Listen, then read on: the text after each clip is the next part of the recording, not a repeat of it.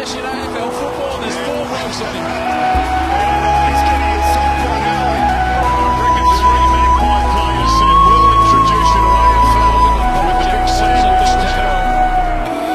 Every night for the year. in A couple of weeks when Goals won against the Suns, got one against the Pies. Demons back in front. These led by seven at quarter time. Pies 23 in the long break.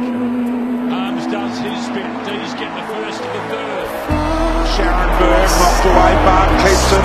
Little dainty one inside, and Jack Watts takes the mark.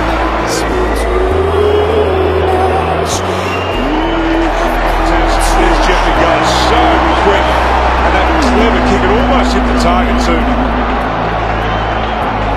What a turnaround this has been. Such an important one. Frost driving ball inside 50.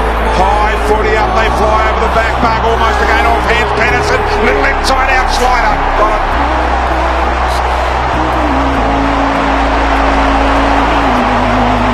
That is an absolute domination. Garland across the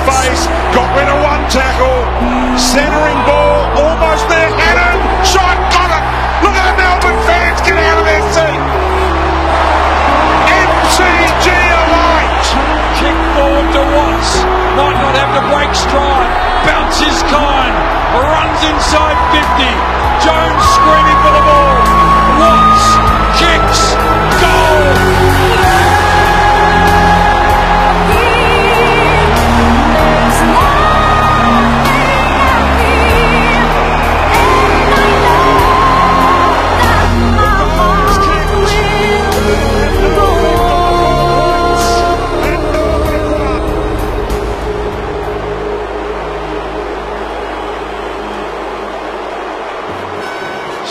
20,926.